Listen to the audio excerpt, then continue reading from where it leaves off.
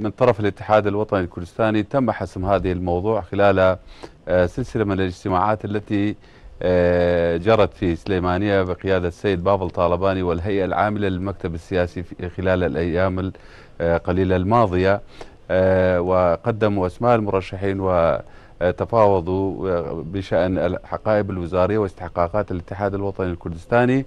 وفي الفترات الماضية أيضا كانت لنا رؤية حول برنامج الحكومي وحول المشاكل العالقة ما يهمنا في هذه الحكومة كاتحاد الوطني الكردستاني أن يكون حكومة خدمية ذو قاعدة واسعة. منذ بداية الأمر بعد انتهاء الانتخابات كان لنا موقفنا ثابتا حتى هذا اليوم. يعني رؤية الاتحاد الوطني الكردستاني أصبح معروفا لدى جميع وخصوصا المتحالفين معه في الإطار التنسيقي والعزم والسيادة أيضا. يعني لنا تفاهمات جيدة حول موضوع تشكيل الحكومة وقضية الحقيبات الحقائب الوزارية والوزارات ليس يعني مشكلة كبيرة بالنسبة للاتحاد الوطني الكردستاني. طيب يعني لحد الآن موقفنا من العملية السياسية. نعم يعني لحد الآن كم اسم نعم. قدم البيت الكردي للوزارات؟ يعني للوزارات التي منحت له. هل لك أن توضح لنا لو سمحت؟ أصبح من العرف السياسي والمعروف أن حصة الحصص الوزارية يعني للكرد أربع وزارات وللسنة ستة وهكذا للبيت الشيعي 12 يعني في هذا الشأن مفاوضاتنا في داخل البيت الكردي على قضية حسم الوزارات لم يتم بين الأحزاب يعني حقيقة. كون أن العملية السياسية مرت بأزمة أزمة عدم تفاهم بين الحزبين الرئيسيين ومشكلة الرئاسة لحد هذه اليوم باقية هذه المشكلة. ولكن تفاوضنا بشكل آخر مع السيد محمد السوداني. يعني تفاهمنا كاتحاد وطني كردستاني مع السيد محمد السوداني بقضية حسم الوزارات. وأعتقد عبرنا هذه المرحلة وحسمناها.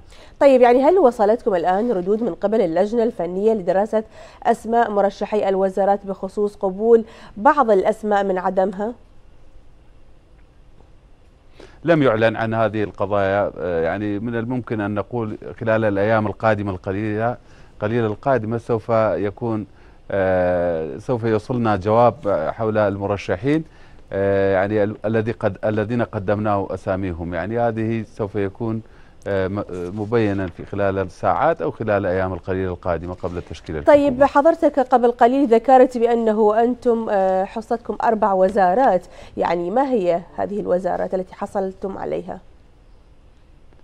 ككرد ككرد أصبح معروفا يعني حسب ما شغلناها في الكابينات السابقة وزارة الخارجية كانت واحدة من الوزارات وزارة المالية وزارة العدل آه وفي بعض الكابينات كان كان آه يختلف من وزارة إلى أخرى. الآن آه يعني أصبح معروفا وزارة الإعمار يعني ما يتحدثون عنه وزارة الخارجية يعني هذه هذه هذه الوزارات تم حسمها يعني نهائيا؟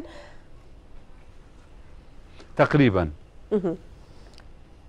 يعني طيب على الطرف الآخر كيف ترى الحراك بين القوى السنية لحسم مرشحي المناصب؟ يعني هل ستتمدد الخلافات برأيك أم أن هناك وقتا كافيا لحسمها خصوصا؟ وأن أعضاء بتحالف السيادة أكدوا أن نوعية الوزارات الخاصة بهم لم تحسم بعد. بشكل عام العملية السياسية بعد فترة الانسداد وبعد إطالة هذه الفترة الكبيرة حيث جرى التفاهم جيد في في الآونة الأخيرة وكتلة أو ائتلاف إدارة الدولة. أعتقد ائتلاف إدارة الدولة كان قادرا على حلول بعض المشاكل واستيعاب الشروط السياسية أو شروط من المكونات. مثلا كانوا في حين يتحدثون الكتلة السيادة والحزب الديمقراطي الكردستاني بأنهم قدموا ورقة مشتركة ينضم 23 نقطة. فيها يعني كان فيها مجموعة من المطالبات في المناطق السورية وما يخص الكرد. هذه من طرف. ومن طرفنا كاتحاد الوطني الكردستاني قدمنا ورقة وتفاهمنا في حين مع داخل ائتلاف إدارة الدولة. يعني هذه الأمثلة أقولها إن العملية السياسية تقريبا نجحت بسبب تلك تلك الائتلاف.